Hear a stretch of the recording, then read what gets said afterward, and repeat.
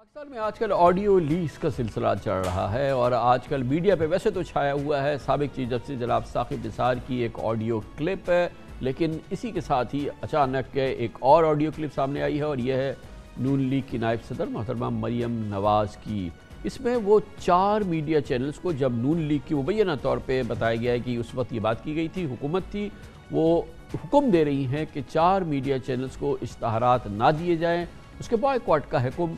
मरीम नवाज़ दे रही हैं। बड़ी कैटेगोरिकल बात है। आज मरीम नवाज़ ने इतराफ़ भी कर लिया है कि सोशल मीडिया पर वायरल होने वाली ऑडियो दरअसल उन्हीं की है और आज प्रेस कॉन्फ्रेंस में इस ऑडियो की तस्दीक करते हुए उन्होंने कहा कि उन दिनों की है जब वो पार्टी का मीडिया सेल चला रही थी। आप मुख्तलिफ़ चैनल्स के नाम लेकर उनको इश्तेहार रोकने का थैंक यू लेकिन मैं मैं ये नहीं कह रही कि वो जोड़ जोड़ के बनाई हुई है या वो मेरी आवाज़ नहीं वो मेरी आवाज़ है। वो मेरी आ, पार्टी का मीडिया सेल में तब चला रही थी। वो बहुत पुरानी है। लेकिन मैंने जब कह दिया कि वो मैं ये नहीं कह रही कि वो तोड़ जोड़ के मेरी फलां तकरीर से निकाल के बनाई गई हैं। इस हवाले से रद्दमल देते हुए विफाकी वजी अतलातलशरिया फवाद चौधरी का कहना है कि ये संगीन माली बेजाबतगियों का एक और इतराफ़ है।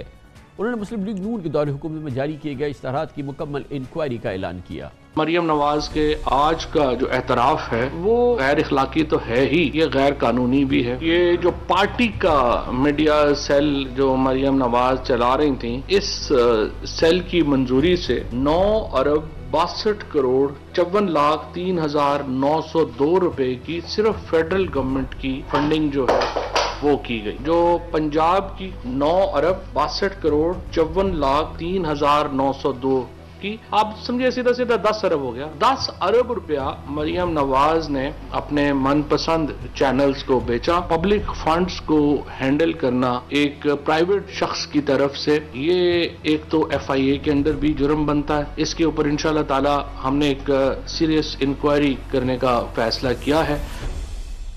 इस मौजू में बात करते हैं। इसके लिए इस्लामाबाद जाएँगे, जहाँ पर मौजूद हैं हमारे ब्यूरो चीफ मुमताज़ सीनियर साहबी खावर घुमन घुमन साहब, बताइएगा ये ये क्या मामला है? मरीम नवाज़ तो ये कहती हैं, हम इस शॉट को, इस इस ऑडियो को सुनकर तो हम नहीं कह सकते कि किस वक्त ये बात की गई है।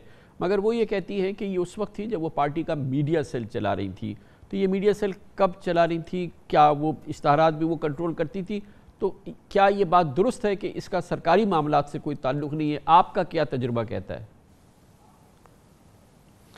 बहुत शुक्रिया खान साहब। ये 2 नवंबर 2015 को स्टोरी मैंने ही ब्रेक की थी। उस वक्त मैं एक अंग्रेज़ी अखबार के अंदर काम करता था कि ये मीडिया सेल बना इंफॉर्मेशन मिनिस्ट्री के तहत उसकी समरी पास हुई प्राइम मिनिस्टर ऑफ़िस के अंदर इस मीडिया सेल को बनाया गया।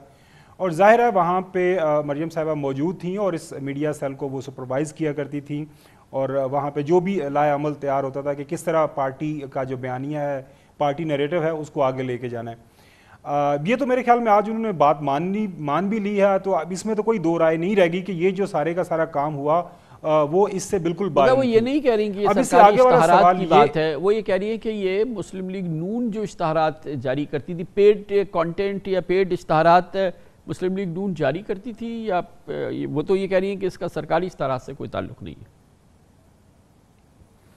ये वही सवाल है जिसको एड्रेस करने के लिए जो खान साहब आज फवाद चौधरी साहब ने प्रेस कॉन्फ्रेंस की है, कि वो ये डिटर्मिन करेंगे कि जो मरियम साहबा ने बात की, वो उसका इस इस बात से क्या ताल्लुक या क्या रिश्ता है। अब ज़ाहिर है जो हुकूमत के पास एविडेंस है, जो आज उन्होंने कुछ डिस्ट्रीब्यूट भी किया है, कि हुकूमत जब पाकिस्तान मुस्लिम लीग नून की थी, उस दौरान, पाँच साल के दौरान कितना पैसा रिलीज़ हुआ कहाँ कहाँ डिस्ट्रीब्यूशन हुई उसमें कितना जो है मनपसंद जो चैनल्स को दिया गया किसी के साथ डिस्क्रिमिनेशन हुई या नहीं हुई, वो ज़ाहिर बात है इसके ऊपर वो तहकीकात करना चाह रहे हैं।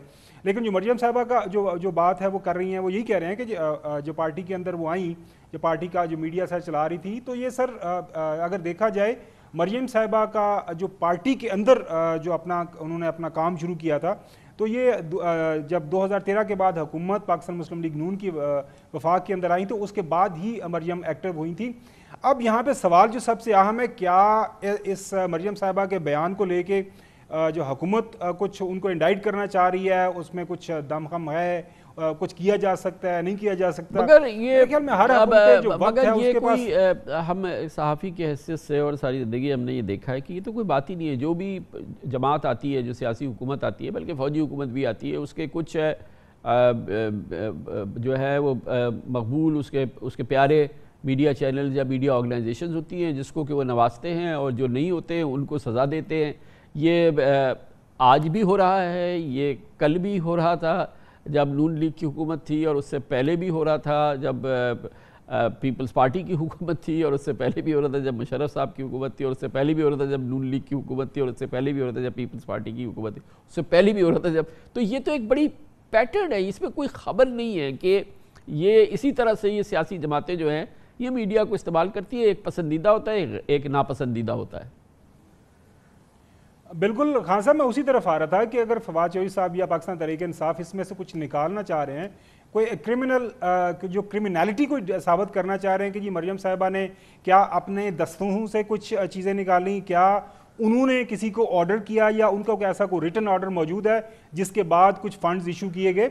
अदरवाइज़ आपकी बात बिल्कुल ठीक है कि हर हुकूमत वक्त के पास ये इख्तियार होता है कि वो जिसको मर्ज़ी जितने मर्ज़ी पैसे दें जिसको मर्ज़ी जितनी एडवर्टाइजमेंट दें और ये और, और पाकिस्तान इसका कोई सबूत के अंदर ये सारी तो नहीं है क्योंकि कोई तहरीरी हुक्म तो मरियम मिसाल के तौर पर मरियम साहिबा ने तो नहीं दिया है ना। कोई ब्यूरोक्रेट तो ये कहेगा नहीं कि मैंने मरियम साहिबा को के कहने पर इस मीडिया को इतने इश्तहार दिए उन्होंने मुझे मना किया तो मैंने फ़लाँ को नहीं दिया और फ़लाँ को नहीं दिया फ़लाँ को नहीं दिया। तो ये एक इसकी आज के ज़माने के लिहाज से एक सियासी गुफ्तु तो हो सकती है मगर इसके इसमें कोई कोई ठोस कोई मामला नहीं है ये। ये वही बात है कि जिस तरह जब Pakistan Muslim League Noon different audio leaks लेके सामने आ रही है, ये उसकी भी उतनी हैसियत है जितनी इसकी हैसियत है। उसकी वजह यह है कि आपने कोई चीज़ अगर साबित करनी है तो आपको ये जो बियॉन्ड एनी डाउट्स साबित करना पड़ेगा कि कोई शख्स जो है उसके अंदर कितना इंडिविजुअली एंगेज है, उसकी इन्वॉल्वमेंट कितनी है। एज एन इंडिविजुअल वो कितना इन्वॉल्व है। अब ज़ाहिर है अब जब जब वीडियो लीक्स या ऑडियो लीक्स की बात है जैसे साकब निसार को अगर आपने इंडाइट करना है तो उसके लिए आपको एविडेंस देना पड़ेगा? यहाँ पे भी ज़ाहिर है, हर हुकूमत की अपनी मीडिया पॉलिसी है। मरियम साहबा का अगर आपने किरदार साबित करना है किसी सतह के ऊपर, कि वो, उन्होंने क्या पब्लिक जो मनी है, उसको मिसयूज़ किया है? अगर मिसयूज़ किया है तो किस हैसियत में किया है? कैसे किया है? अब ये हुकूमत ने एक चैलेंज लिया है और देखते हैं वो कितना कैसे वो चैलेंज ये अपना उसको पाया तकमील तक पहुंचाते हैं। बहुत बहुत शुक्रिया। जनाब खावर घूमन हमारे साथ मौजूद थे इस्लामाबाद से। खबर शबरे के दौरान न्यूज़ हेडलाइंस देखें, जिसके बाद हम अपने प्रोग्राम के बाकी हिस्से के साथ वापस आते हैं। आज मजहबा मरियम नवाज़ शरीफ ने बजात खुद पाकिस्तान मुस्लिम लीग नून की इन दो केसेस के हवाले से, जिसमें सबक चीफ जस्टिस ऑफ़ पाकिस्तान जनाब जस्टिस साकिब निसार पर पनामा केसेस के मामला में अदालती समात, सज़ाओं वगैरह के हवाले से जो दो चीज़ें सामने आईं, एक गिलगित बल्तिस्तान के सबक चीफ जज राना शमीम के इल्ज़ाम और अब जो एक ऑडियो लीक सामने आई है, पाकिस्तान मुस्लिम लीग नून की जानब से आज मोहतरमा मरीम नवाज़ ने ख़ुद उसकी कमान संभाली है और आज एक ज़ोरदार, भरपूर, धुआंधार प्रेस कॉन्फ्रेंस में उन्होंने सबक चीफ जस्टिस साकिब निसार पर संगीन इल्ज़ाम लगाए।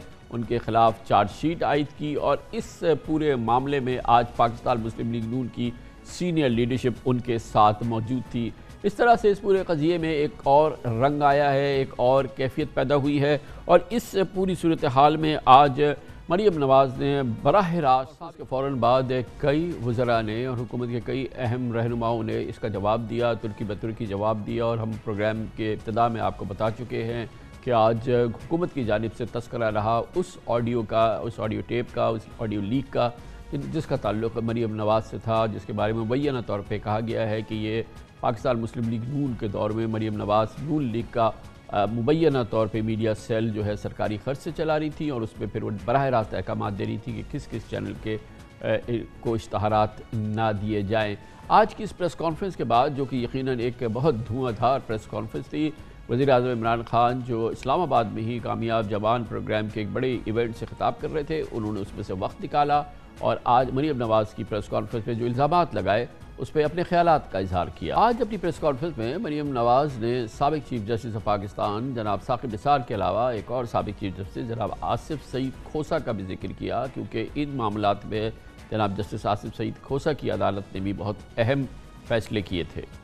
जब पैनामा आया था, उस वक्त के चीफ जस्टिस ने फ्रिवलस कहकर उस पिटिशन को उठाकर अदालत से बाहर फेंक दिया था। फिर जस्टिस खोसा ने इमरान खान साहब को कहा कि आप इधर उधर क्या फिर रहे हैं? ये दरखास्त नवाज़ शरीफ के खिलाफ मेरे पास लेके आए, हम इसका फैसला करते हैं। क्या इसको किसी फोरेंसिक की ज़रूरत है? महज बेटे से तनख्वाह ना लेने पर एक सिटिंग प्राइम मिनिस्टर आपने एक कामा रखने पर ऑफ़िस से बाहर निकाल दिया क्या इसके लिए भी किसी फोरेंसिक की ज़रूरत है? सुप्रीम कोर्ट ऑफ़ पाकिस्तान खुद पार्टी बनता है और नैब को कहता है कि ये रेफरेंसेस को दाखिल करो। जे बनती है। कौन सा ऐसा पाकिस्तान की चौहत्तर साल की तारीख में केस है जिसमें सुप्रीम कोर्ट उस पर एक मॉनिटरिंग जज मुकर कर देता है? साकिब निसार साहब, आपने नवाज़ शरीफ को पार्टी की सदारत से भी हटा दिया। इसके लिए भी कोई फोरेंसिक ऑडिट की ज़रूरत है? नवाज़ शरीफ को आपने ताहयात ना अहल कर दिया मुझे कोई अवामी ओदा रखे बगैर, कोई सबूत रखे बगैर सात साल के लिए नाअहल किया। तो क्या इसके लिए भी किसी फोरेंसिक ऑडिट की ज़रूरत है? ये सबसे बड़ी चार्जशीट है आपके खिलाफ। ऑडियो भी वही कह रही है। एफिडेविट भी